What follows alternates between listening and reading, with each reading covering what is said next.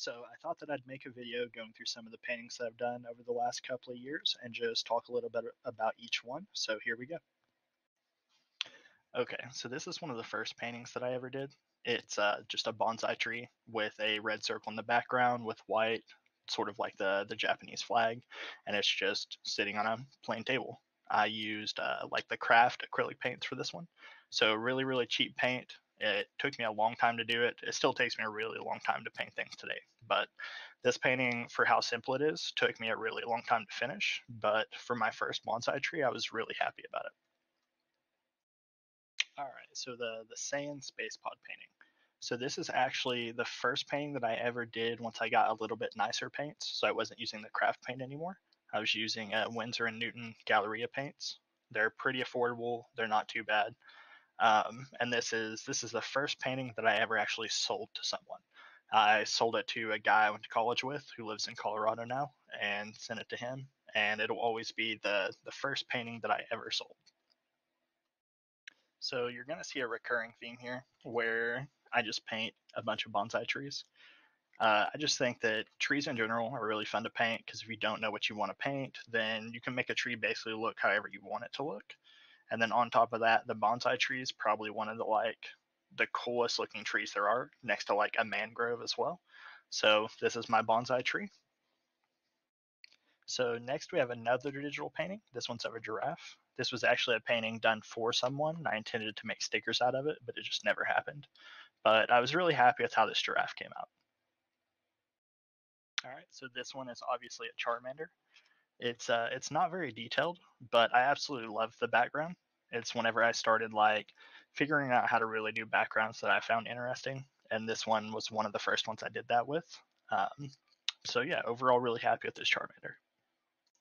So I painted this Caterpie right around the same time as I painted the Charmander, but I spent a little bit more time on it, put a little bit more detail and shading into it, and I ended up really, really happy with how this Caterpie turned out. Okay, so next we have everybody's favorite bad guy turned good guy, and that's Vegeta.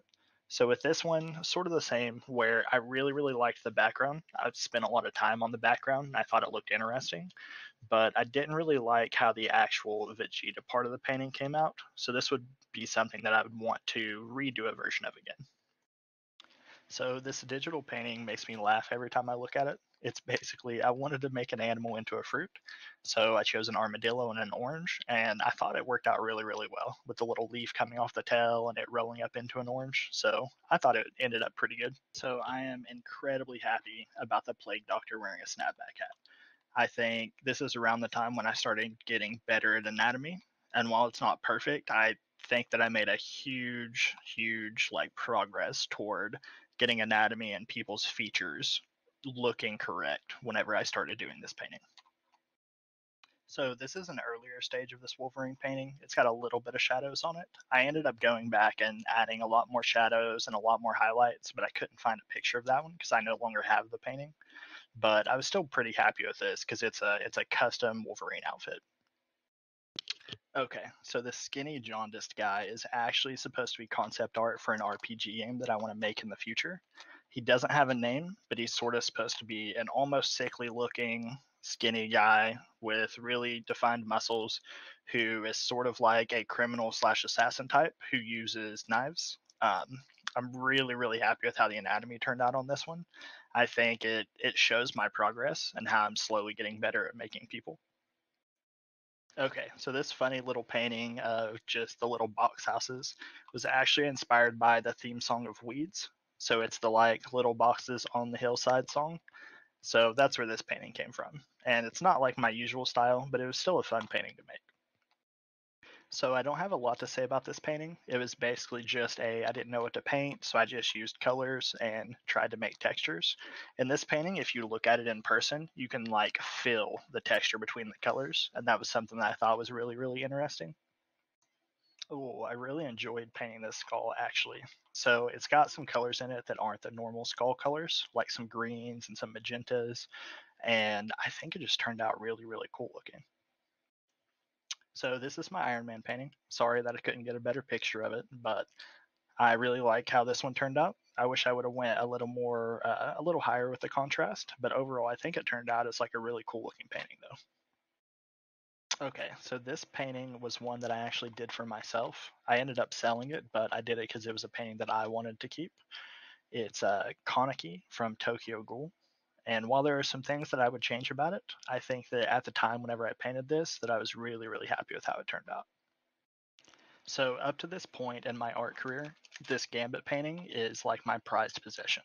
It's by far my favorite painting that I've ever done just everything about it I liked. I like the pose. I like how the colors turned out. I like the background. I just I'm I'm so so happy with how this painting turned out. All right, so here we go again. It's another Pokemon. It's also another bonsai tree. Um, I was really happy with how this one turned out. I actually just finished it about a week ago. Um, it's got a lot of metallic paints and color shifting paints in it.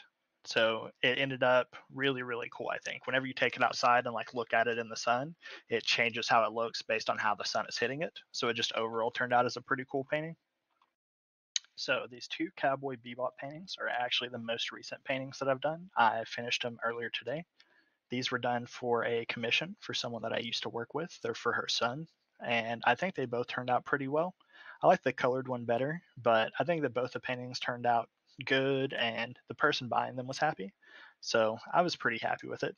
I really, really like the the background on the colored one. I think that doing backgrounds is honestly like my favorite thing about painting. All right, so that's the end of the paintings that I have pictures of. If you like this video, then if you could throw me a like, comment, or subscribe, I'd really appreciate it. Have a great day.